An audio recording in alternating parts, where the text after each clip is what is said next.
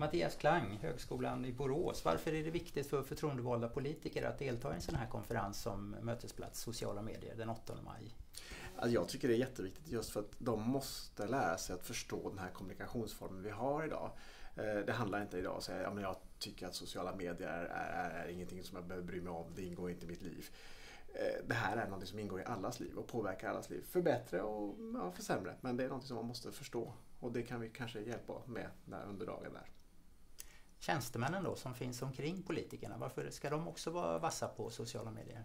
Det, det uppstår hela tiden ja, problem om du vill, men alltså uppstår hela tiden nya saker, nya diskussionsforum, diskussionsämnen. Och de bubblar upp på sociala medier om man inte förstår vad det här är, om man inte förstår hur man ska hantera det, vill säga antingen reagera eller inte reagera, så skapar man mer problem. Så jag tror att det är väldigt viktigt för, även för tjänstemäns förståelse av sin arbetsstation, av den yttre arbetssituationen också. Mm. Årets tema det är ju hotbilder och motbilder. Varför mm. är det angeläget?